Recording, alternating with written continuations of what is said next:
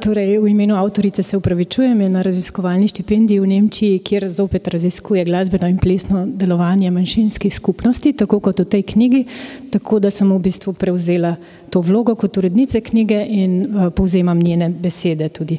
Uh, v knjigi Alma raziskuje, kako delujejo manjšinske skupnosti, predvsem tiste, ki izvirajo iz nekdanje Jugoslavije na področju glasbe in plesa v Sloveniji in tudi predvsem po letu 91, se pravi primerjalno tudi pred tem letom, ampak uh, bolj pa je osredotočena na ta čas. Gre za delo, ki je plot njenih večletnih raziskav, lotila se jih pa ni le kot raziskovalka, ampak je tudi sama aktivna udeleženka na tem področju, uh, bodi si kot članica manjšinskega društva ali pa novinarka na RTV za uh, uh, oddajo o manjšinah, tako da v določenem segmentu nam podaja tudi lastne izkušnje nekako iz prve roke. Uh, svoji raziskavi je zbirala gradivo preko intervjujev, opazovanja glasbeno in plesnih, glasbenih in plesnih dogodkov. Veliko je referenc na pripovedi intervjuvancev in predvsem intervjuvank, ker so ženske v spredju uh, njene raziskave. Monografija je organizirana v pet poglavij in na začetku se posveti teoretičnim vidikom, poudarja vprašanja presečišča manjšinskosti, spola in pa uh, etnične identitete. Um, in pač to seveda raziskuje skozi prizmo teh skupnosti. Zraven pa pokaže še razlike med generacijami in pa vlogo socializacije v teh skupnosti. V srednji del uh, se osredotoča na dva ključna načina, kako se ženske v teh skupnostih um, javno prezentirajo in kako delujejo na področju glasbe in plesa. Prvi način se osredotoča na delovanje v okviru kulturnih društev. Tukaj glasba in ples predstavljata etnično identiteto, večinoma so, eh, se tudi društva identificirajo kot etnična društva in um, pogosto uporabljajo uh, perspektivo držav porekla.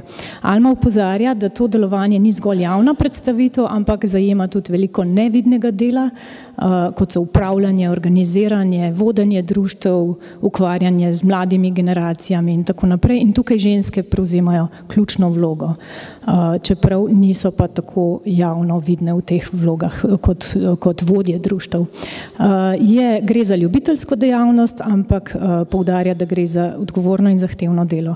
Drugi način delovanja, na katerega se osredotoča, pa se odvija zunaj te, teh organizacij, se pravi v neki samoorganizaciji. Tukaj pa je opazovala predvsem ženske glasbenice, ki delujejo na žanrskem področju, ki mu nekako neuradno rečemo etno glasba. Gre za polpoklicne in poklicne glasbenice, ustvarjajo avtorsko glasbo in sicer temelji njihova glasba na, na tradicijah etničnih prostorov, ki jim, ki, uh, ki jim pripadajo oziroma se identificirajo z njimi. Hkrati pa je ta prostor dosti bolj svoboden kot v kulturnih društvih in so v bistvu uh, veliko bolj ustvarjalne pri, uh, pri iskanju uh, izrazov, glasbenih izrazov. Eh, glasbenice sodelujejo tukaj pogosto tudi z uh, drugimi glasbeniki in uh, glasbenicami iz drugih etničnih okolij in seveda tudi z večinsko populacijo, se pravi slovenskimi glasbenicami in glasbeniki. Monografija o slovenski etnomuzikologiji prinaša veliko novega. Razkriva manj vidno glasbeno in plesno ustvarjanje žensk s priseljenskim ozadjem, ki je med večinskim prebivalstvom pogosto spregledano ali pa tudi zaradi vse prisotnosti glasbene industrije Balkana včasih dojemano bolj stereotipizirano ali homogenizirano.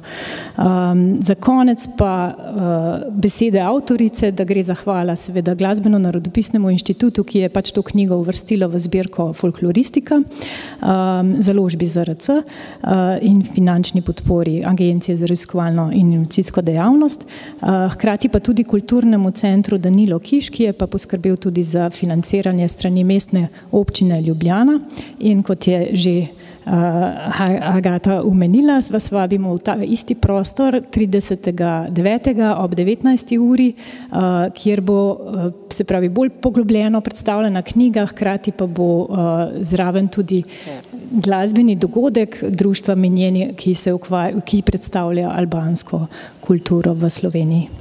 Hvala.